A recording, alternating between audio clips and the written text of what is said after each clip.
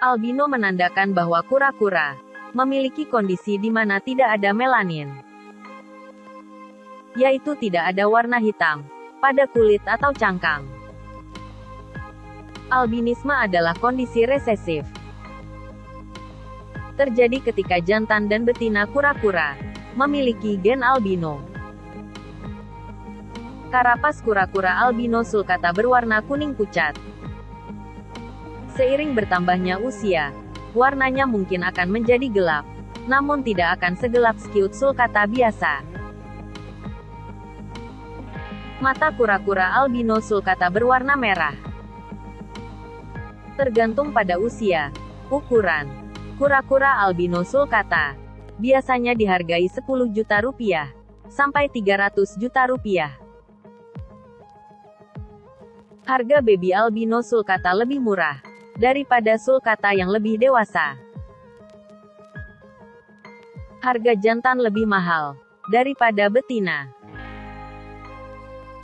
Sulcata ivory juga dikenal sebagai kura-kura sulcata mutiara, memiliki gen lecistik langka. Untuk menghasilkan tetasan sulcata ivory, sobat eksotik harus memiliki dua indukan, sulcata gading atau sulcata dengan gen lecistik. Sulcata ivory memiliki 66,6% gen lecistik. Gen lecistik menyebabkan hilangnya pigmen dalam segala hal kecuali mata. Jadi karapas kura-kura ivory akan mirip dengan albino, memiliki warna kuning pucat. Namun, mata akan tetap mempertahankan pigmen tetap hitam dan tidak merah, seperti albino sulcata. Ketika sulcata ivory menetas, matanya terlihat seperti mata kura-kura albino. Namun dalam beberapa minggu pertama, warna mata akan berubah menjadi warna standar. Tergantung pada usia dan ukuran. Kura-kura sulcata ivory biasanya dihargai 6 juta sampai 40 juta rupiah. Ribuan kura-kura sulcata tangkapan alam telah diimpor selama kurang lebih 10 tahun terakhir. Kura-kura sulcata dewasa yang diimpor pada awal tahun 2000 memicu pembudidayaan lokal. Banyak indukan kura-kura sulcata hasil budidaya dibeli oleh peternak lain. Seringkali sebagai kelompok termasuk kura-kura keturunan sedarah. Gen albino pasti muncul lebih awal. Ketika keturunan sedarah akhirnya kawin. Atau inbreed, gen itu bersatu kembali lebih cepat. Daripada yang mungkin terjadi di alam liar. Sebelum sifat gen ini dikenal luas, hewan amelanistik pembawa gen, dijual bebas dan tersebar. Kura-kura sulcata peliharaan sobat eksotik mungkin berasal dari situasi peternakan seperti ini. Setelah memutuskan untuk memelihara sulcata albino atau sulcata ivory, tonton terus. Sulcata albino dan ivory adalah hewan peliharaan yang luar biasa. Bisa menemani sobat eksotik seumur hidup. Makanan kura-kura sulcata. Kura-kura sulcata adalah herbivora. Hanya memakan tumbuh-tumbuhan. Berikan makan sulcata. Sekitar 95% rumput. Makanan ini tinggi serat dan nutrisi rendah untuk pertumbuhan yang lambat dan stabil. Variasi malan bisa berupa rumput, daun semanggi, timothy high, rumput gandum serta pelet tortoise.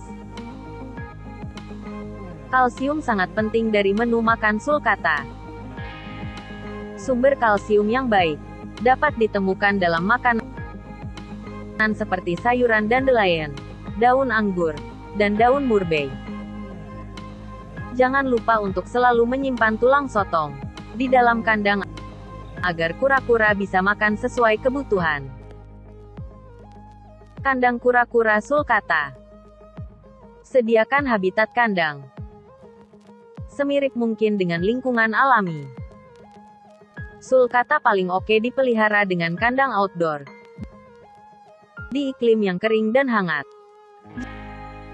Jika sobat eksotik tinggal di kota yang dingin dan basah, sulcata bukanlah kura-kura yang tepat untuk dipelihara saat kura-kura masih baby atau remaja. Cukup sediakan kandang yang tepat di dalam rumah. Penggunaan kandang kaca tidak disarankan. Karena kura-kura tidak dapat memahami kaca. Sulcata akan terus mencoba melewatinya, hingga menjadi stres. Selain itu, air yang tertinggal di tangki kaca akan meningkatkan kelembapan menyebabkan penyakit pernapasan dan pembusukan karapas. Setelah sulcata cukup besar, pelihara mereka di kandang luar ruangan. Sulcata gemar penggali. Substrat terbaik untuk kandang mereka. Menggunakan campuran tanah dan pasir. Jangan pernah menggunakan pasir saja. Karena jika makanan terkena pasir, sulcata akan memakannya dan bisa sakit. Pemanas tambahan. Gunakan lampu UV. Pastikan suhu mencapai 35-37 derajat Celcius saat lampu menyala. Jika tidak, sesuaikan watt bohlam. Termometer kedua harus ditempatkan di ujung lain kandang untuk memastikan Bagian ini 15 derajat lebih dingin dari sisi basking. Sehingga sulcata tidak terlalu kepanasan. Suhu siang hari 23-32 derajat Celcius. Area basking 33-35 derajat Celcius. Suhu malam hari 15-24 derajat Celcius. UVB sangat penting bagi kura-kura agar bisa memproses kalsium. Tanpa ini, kura-kura akan mengalami masalah kesehatan yang serius. Seperti pertumbuhan cangkang yang tidak normal, penyakit tulang metabolik, serta penyakit serius lainnya. Lampu UV harus dibiarkan menyala selama 10-12 jam sehari. Matikan pada malam hari. Ganti bohlam setiap tiga bulan. Meskipun lampu masih berfungsi, kandungan UV telah hilang dari waktu ke waktu. Meskipun spesies kura-kura gurun, sulcata seperti semua jenis kura-kura, membutuhkan banyak air. Tidak mendapatkan cukup air, dapat menyebabkan gagal ginjal. Untuk sulcata baby, sediakan wadah air dangkal. Pastikan jika sulcata baby jatuh atau terbalik di wadah air, dia tidak bisa tenggelam. Untuk sulcata dewasa, bisa menggunakan mangkuk air ukuran sedang. Sekali lagi, pastikan kura-kura tidak bisa tenggelam. Memberi makan sulcata di kandangnya, cukup mudah. Sobat cukup meletakkan makanan di tanah. Jika tanahnya lembab, Taruh makanan di wadah yang dangkal. Jika ada sisa makanan, bersihkan untuk mencegah serangga dan penyakit.